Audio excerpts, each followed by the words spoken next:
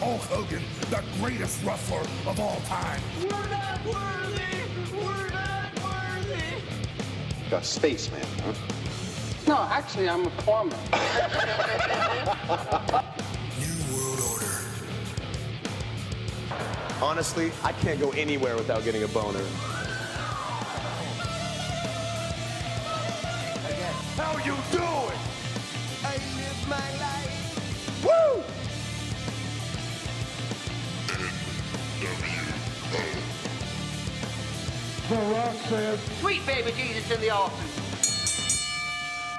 Alors bonsoir tout le monde, j'espère que ça va bien. Mon nom est Jonathan Drapeau, vous écoutez le Wrestle Rock Podcast, émission 7 sur la musique. Je suis euh, en collaboration avec euh, Benoît Laferrière. Comment ça va mon Ben? Ça va très bien, j'espère que ça va bien à la maison. Euh, je suis bien content de te retrouver et de retrouver nos, nos admirateurs, nos, nos fanatiques Wrestle Rock Podcast. Bien sûr, bien sûr, bien sûr. Écoute, gros contenu pour l'émission 7 euh, du, du Wrestle Rock Podcast. Donc, commençons tout de suite avec. Euh, T'as-tu entendu parler de l'ancien claviériste de tournée euh, Gary Corbett? Euh, Il est décédé le 14 juillet. d'une forme très agressive de cancer du poumon qui s'est métas- comment on dit ça? Métastasé au cerveau et à la hanche. Ouais. Dans le fond, ça s'est généralisé. Ouais, c'est ça. Euh, quand tu pognes, normalement, quand tu pognes un cancer du poumon, c'est jamais vraiment long. là. Ah, c'est sûr que tu y passes assez rapidement. là. euh, c'est c'est une question de jour. C'est un des pires cancers à pogner. Ouais, ça, puis le pancréas, on va dire. c'est sûr. Le cerveau, puis toutes ces cochonneries-là. là, C'est un peu de la merde. Mais lui, il se trouvait. euh, il se trouvait avoir collaboré euh, avec Kiss. euh, Ouais, c'est ça. tu Il a, l'avais déjà co- il a joué. collaboré un peu Certaines avec tunes. Kiss pour certaines, euh, certaines chansons. euh, C'est un peu, pas euh, vraiment de l'écriture, mais plus genre au niveau euh, euh, mélodique. Puis euh, il jouait pour le groupe euh, Sandrian. Sandrian, c'est ça. Donc les gens pleurent sa mort euh, cette semaine. Ouais, ça a eu lieu le 14 juillet Yes, dernier. Malheureusement. En parlant de Kiss, mon ami, euh, en parlant de Kiss, dans le fond, j'ai euh, j'ai entendu parler, euh, bien que euh, Kiss, euh, éventuellement, ferait, euh, dans le fond, euh, des spectacles à Las Vegas, un clos un petit peu comme euh, Céline Dion a fait, dans le fond. euh. Au Caesars Palace? Ah, je sais pas c'est où, mais euh, je vais vous revenir avec plus d'informations euh, concernant ceci. Le stade des Raiders au football, ça serait bon à maudit et tout. Ah ouais? Bon, Ah ouais, ça serait cool. on est- Super, fait que c'est ça. Euh, Est-ce que tu veux enchaîner avec la prochaine nouvelle, dans le fond, ou tu veux que je le fasse? Ah, je vais enchaîner. euh, c'est la, la fameuse saga euh, Britney Spears et son Paternal qui n'est pas terminée encore. Écoutez ça, les amis. Un tribunal de Los Angeles a rejeté la demande de Britney Spears de ne, plus être sous la tutelle de son père, dont elle fait l'objet depuis maintenant 13 ans à la suite de troubles psychologiques et qui donne à ce dernier carte blanche sur la vie et la carrière de sa fille, ont indiqué des médias américains le 1er juillet dernier. La décision de la Cour de Los Angeles rendue euh, la veille, euh, le 30 juin, est la réponse à une demande déposée en septembre 2020 par l'avocat de Britney Spears qui a souhaité que la société de gestion patrimoniale euh, Bessemer Trust soit ajoutée à la tutelle et que le père de la chanteuse Jimmy Spears n'en fasse pas partie, rapporte CNN.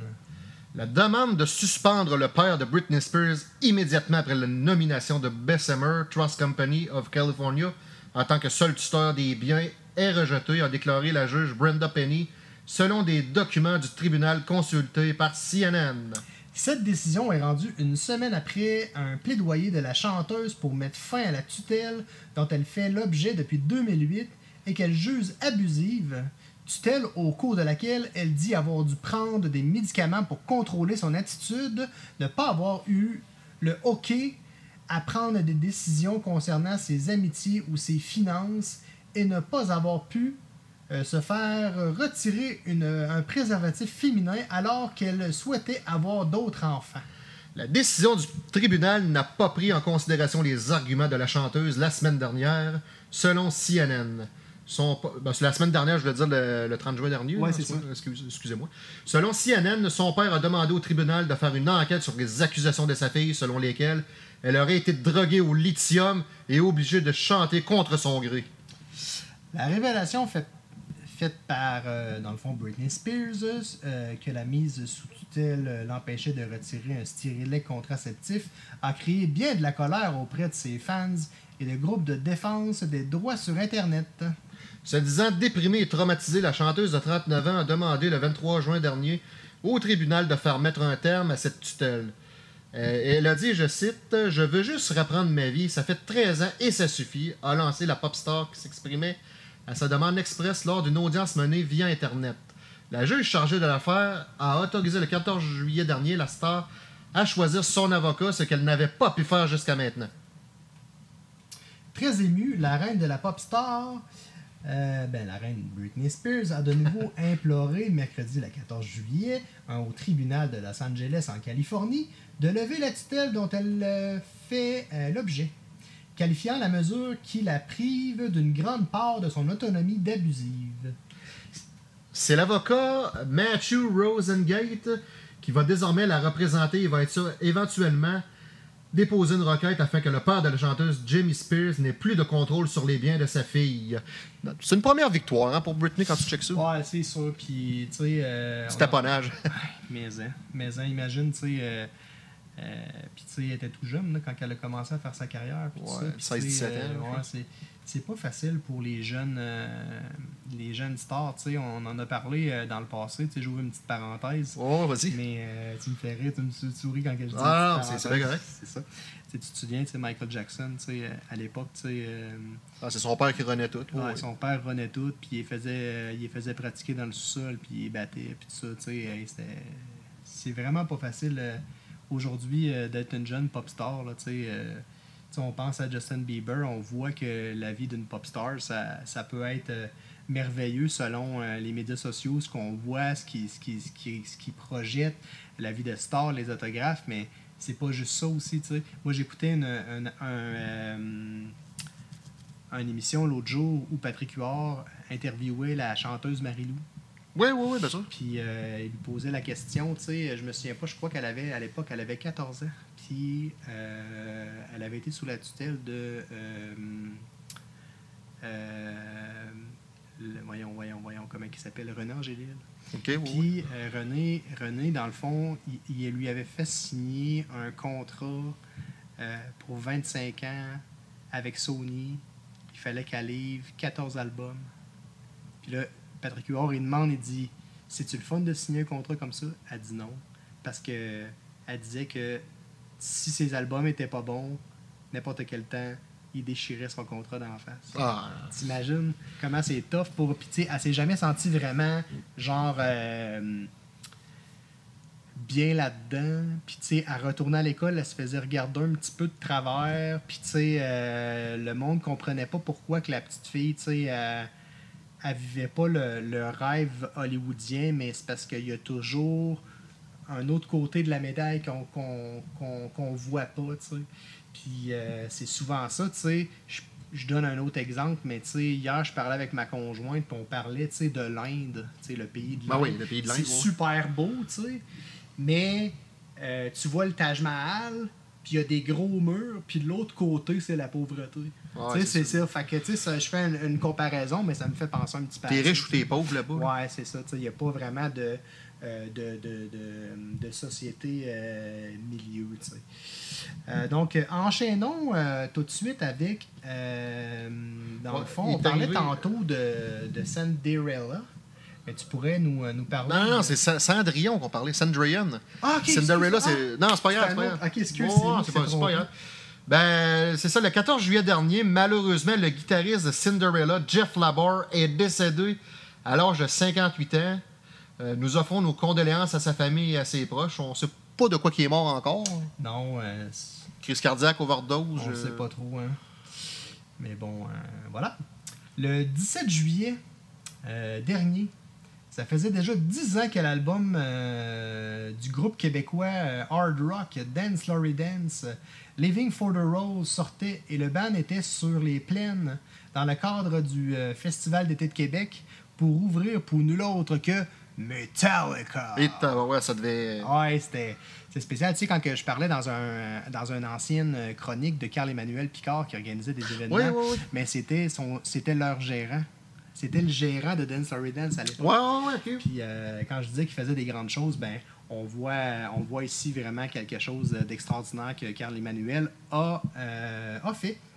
Je vais expliquer que le 23 juillet dernier, c'était une journée fatidique, puis je vais, je vais en venir au Ouais, bien sûr. pourquoi. Ben, le 23 juillet dernier, ça a été une journée fatidique car euh, dix ans plus tôt, en 2011, euh, la chanteuse Amy Winehouse a été retrouvée sans vie dans son appartement londonien en raison d'une trop forte consommation d'alcool qui lui a été fatale après une période d'abstinence de quelques semaines.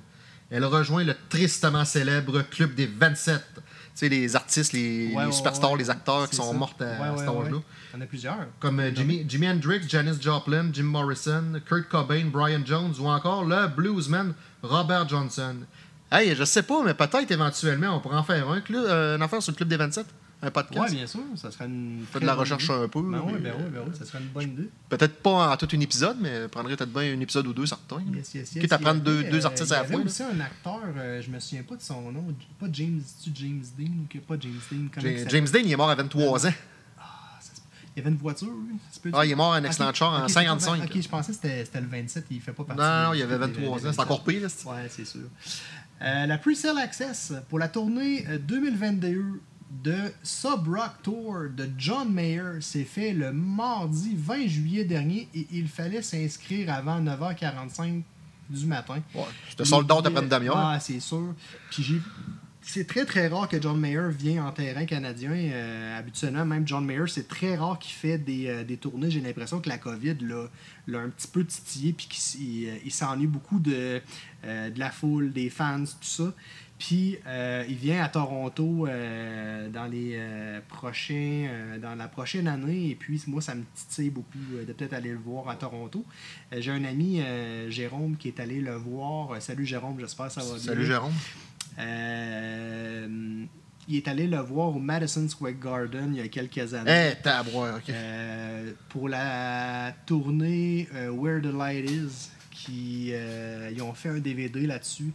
D'ailleurs, Where the Light Is est l'un des 10 meilleurs albums live enregistrés de tous les temps.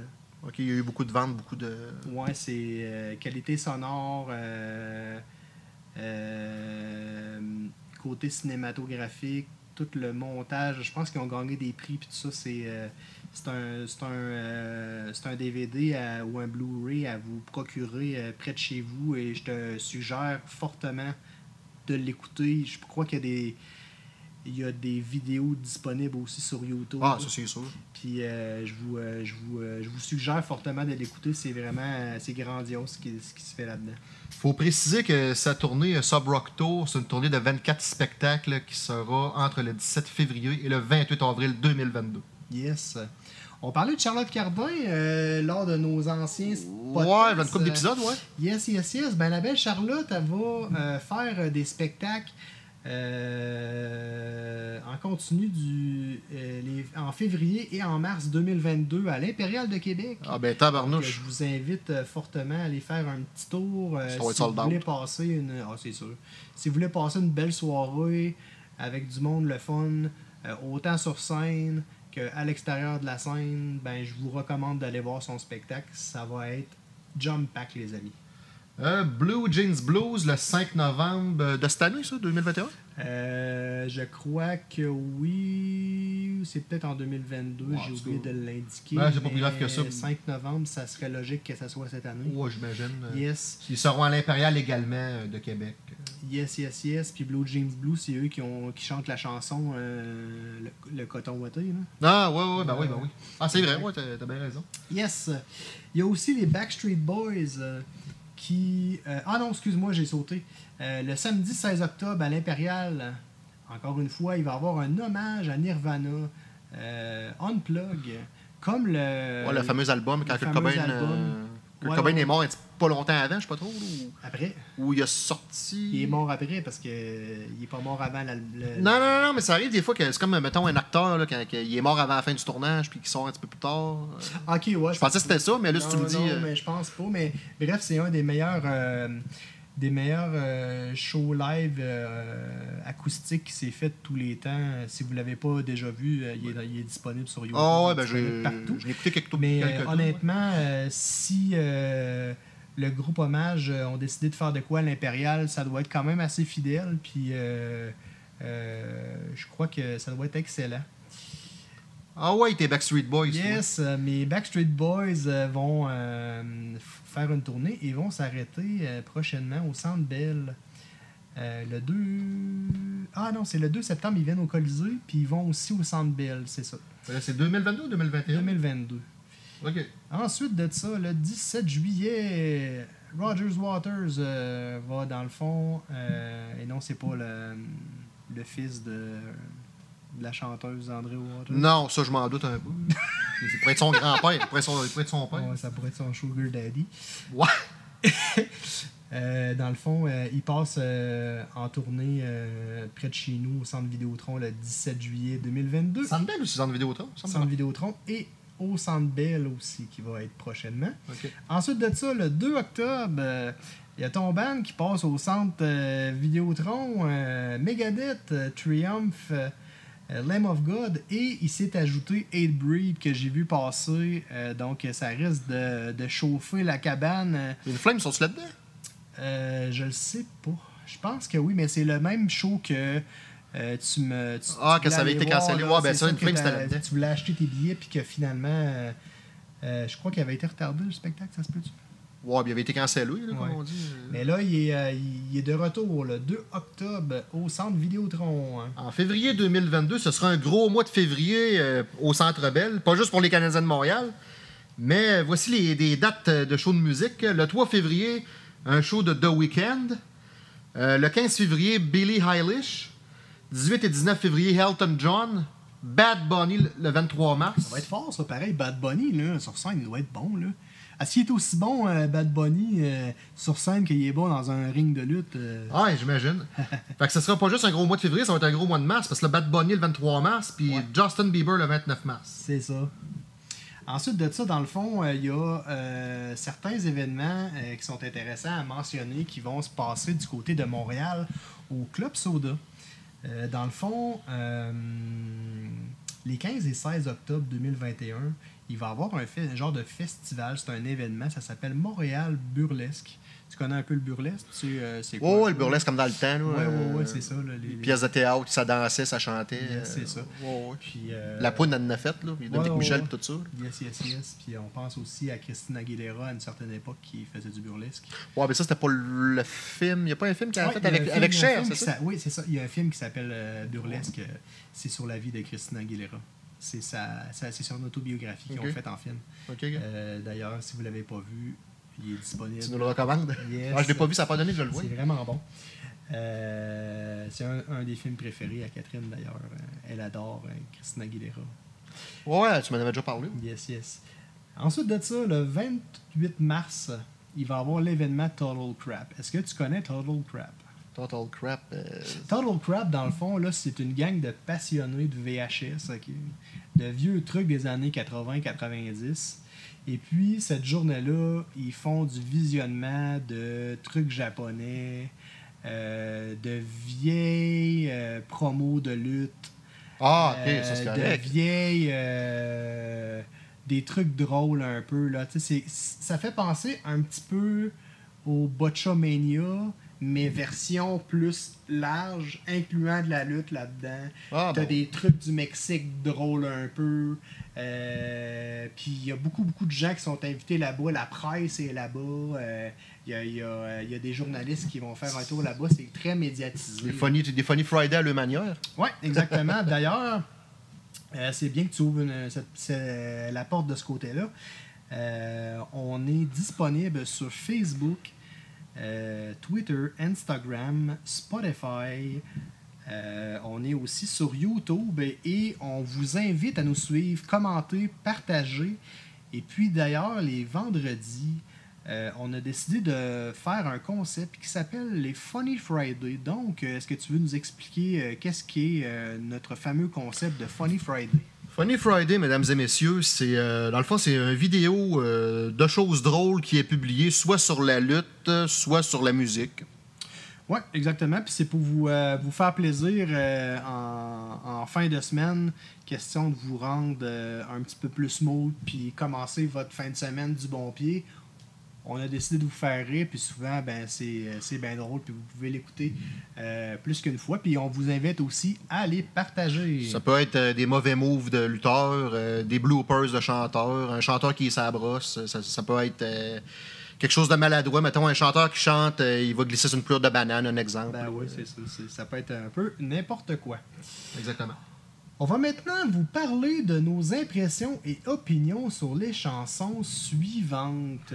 August Burns Red, euh, Bloodletter. Ouais, c'est un groupe qui fait penser beaucoup à Fear Factory, là, un message un peu, vi- ben, un peu Ouais, pas mal ouais, violent. ça, là. il fait partie des hate breed de sa monde. Oh, ouais, mais hein. Yes, yes, yes. Euh, ouais, la, la scène, la fameuse scène de l'épicerie. là. Ben, moi, la manière que c'est fait, l'épicerie, ça me fait penser à Universal Soldier quand Dolph Lundgren fait une prise d'otage dans l'épicerie. Ah ouais, c'est vrai que ça ressemble me à fait ça. penser, ouais. où, est le, où est le frigo à viande? ça rentre, là. Ah ouais, il faut qu'il soit, euh, faut qu'il soit glacé, fait qu'il mange de la viande crue. Là. ah, c'est débile en Ah maudit. ouais, c'est vrai. Il y, a comme Puis, des, euh, euh, il y a comme des mots, un peu comme dans la série Batman. Là. Ouais, ouais. Wham, paf, biff. en tout cas, Ouais, c'est ça, pif paf pouf. Ouais, c'est ça. Non, c'est euh, franchement. vrai que ça là, fait penser. Puis il est quand même bien monté. Euh, c'est ça, c'est un concept. euh, c'est comme des, euh, des janitory euh, dans un. comment on appelle ça un janitory un, voyons, un Ah, ben c'est ça, les, les concierges. Un ouais. concierge. Puis. passé une mop. ouais, c'est ça. Puis euh, ça finit où est-ce qu'il. Il, il bang de la tête, là, je trouve ça bien le fun. On les voit pas laver les toilettes, par exemple? Non, non, non, non, non. C'est vraiment, c'est un beau concept. Je trouve ça bien le fun. Donc, August, le groupe s'appelle euh, Bloodletter, c'est ça? Ouais, je sais pas si. Euh, August Burn Red Bloodletter. C'est excellent. Je vous invite Ouais, à la-. On va le mettre sur notre, euh, notre page Facebook. Ensuite, euh, Ginger, euh, le Vortex. Ouais, c'est ça. euh, tout de suite après la tune euh, Bloodletter de August Burns Red, on va enchaîner avec Ginger et la tune Vortex. Ça a été. euh, Toi, tu m'avais parlé que ça te faisait penser un peu à Evanescence, style gothique, style euh, Ouais, magie c'est ça. noire. Ils ont comme, ils ont comme euh, tourné ça dans un. euh, comme dans un genre de, de, de, de, de, de- de vieil appartement avec. Puis tu sais, c'est- c'est très sombre, très dark. Euh, la chanteuse, euh, moi, je l'ai décou- je l'ai découvert un peu comme toi parce qu'on connaissait pas vraiment le band. Non, pas vraiment. euh, euh, ça fait penser beaucoup à Amy Leach, euh, la chanteuse d'Evanescence. Ouais, exactement. là. Carrément. Euh, sauf que la voix, Elle est pas opéra, Ouais, la voix. Non, c'est ça. C'est pas une voix comme euh, la chanteuse de Nightwish, mettons. Non, non, non. C'est vraiment en plus, genre, euh, euh, mélodique, mais euh, la force du band, en tout cas, moi, honnêtement, je trouve que le son, là, il, est, il est écœurant. là. Leur équipe. euh, leur équipe qui ont monté le vidéoclip, c'est super bien monté, super bien fait. C'est dark, mais on voit bien. Tu sais, des, Ouais, ouais, fois, ouais, c'est- je- tu sais, des fois, quand c'est trop dark, tu vois, tu vois pas. Tu sais, je pense à des fois, il y a des. euh, il y a des vidéoclips qui ont été tournés pour Marilyn Manson, c'est très sombre, puis on le voit pas, Marilyn Manson. Ah, ok, mais tu sais. là, on voit très bien. Euh, ouais, c'est ça. Euh, voilà. Euh, ensuite de ça, dans le fond, Rise Against, ils ont sorti une nouvelle tune le 1er juin qui s'appelle Talking to Ourselves. C'est pas. On dirait qu'il a donné. C'est comme un nouveau style qu'il essaye. Hein. C'est parce que ça- D'habitude, ça part en énervé. Là, il part tranquillement, je trouve. Euh, ouais, c'est pas. euh, mettons que c'est pas. euh, c'est pas de la poésie, là. C'est pas. euh, 6 sur 10, C'est mettons. pas une chanson de Plume la Traverse, là. Que, yes. et puis pour poursuivre, dans le fond, le 18 juin, Bullet for My Valentine, ils ont sorti un, un single qui s'appelle Knives. Euh, Veux-tu en parler un petit peu? Comment t'as trouvé ça, toi? Ouais, j'ai trouvé ça violent. J'ai trouvé ça. euh, les effets spéciaux très bonnes. Le, Ouais, ouais. le stroboscope, là, sérieux, c'était. Oh, ouais, c'était cool avec la fille euh, Ouais. qui, qui, qui- qui rampe un peu. Là, ça fait penser un petit peu aux films d'horreur des années, euh, les années 60, 80, soit 80, 70. 70, ça ouais. fait penser un petit peu à The Grunge. Là. Euh, mais c'est très, euh, c'est très violent, très puissant. Euh, en parlant des nouvelles sorties, euh, récemment, Iron Maiden ont sorti euh, un Hmm. nouveau hit que personnellement j'ai adoré. Ça s'appelle The Writing on the Wall. Et puis, euh, qu'est-ce que t'en as pensé, toi? de Ben, Iron Maiden, premièrement, c'est. En Angleterre, c'est pas mal le. Le band. Ouais, c'est c'est Ah, ouais. pas mal les, les Hogan euh, du métal, si on Ah, veut. là. ouais, tu sais, ils, font, ils font partie des Beatles et des euh, Ro- Rolling Stones. Ouais, Rolling Stones. Rolling Oh, Stones ouais. et euh, Muse de ce monde. C'est pas mal les. les le C'est une style western far west, Ouais, ouais, ouais. Puis à part à un moment donné un petit peu plus power metal avec la voix de Bruce Dickinson. Bruce Dickinson. Je trouve que c'est bien mixé. Le, le vidéoclip style bande dessinée, ça commence, comme en Arizona dans le Far West, des cactus, puis il n'y a pas, Ah, personne dans le désert. Ça, ça va être probablement la première tune qu'on. Ben, en fait, on vous l'a partagé, euh, si je me souviens. Euh, vous non, on l'a l'a pas partagé encore. Non, non, Non, non. non, c'est une tune de euh, Megadeth qu'on vous a partagé puisque euh, Megadeth récemment. Ça fait 29 ans. Ça fait 29 ans qu'ils ont, qui ont sorti leur album. Leur album intitulé, je te voyais que t'es petit petit dé que t'essayais de trouver ouais. le nom du groupe, de, de l'album? L'album est intitulé Countdown to Extension. Un, un pas mal, un, pas mal le- un de le meilleur. Oh oui, vraiment, euh, il, il est excellent, ça brosse pas mal. Puis, euh, dans le fond, on parlait de Kiss tantôt. Ouais, on a eh débuté bien, avec ça. euh, c'est ça. Euh, eh bien, euh, Kiss, euh, tu sais qu'ils sont très forts sur les dérivés. Ah, Puis, pas mal, euh, dans le passé, Gene Simmons a sorti euh, une vodka que j'ai en ce moment dans les mains. Elle s'appelle euh, le Moneybag. Je pensais que c'était un vodka de tête DBSI, un signe de pièce. Ouais, ça ressemble à ça. euh, Puis, dans le fond, c'est c'est du 40% OK. puis euh, elle, est, euh, elle est sensationnelle. Pour vrai, j'en avais acheté une autre bouteille. Celle-là, je la laisse euh, pour mon musée. Mais Ah ai oui, ben oui, ben j'en ai oui. acheté une. Elle s'évaporera pas. Non, non, non. Puis euh, là, récemment, dans le fond, euh, ils ont annoncé qu'ils euh, sortaient du, euh, du rhum. Et puis, euh, j'ai hâte de voir. Il y avait aussi une rumeur qui sortirait probablement un gin, puis qu'il l'appellerait Cold Gin, en l'honneur d'une des chansons de, de Kiss. là. Cold Ouais. Gin, Ouais, again. Ben ouais, ben ouais.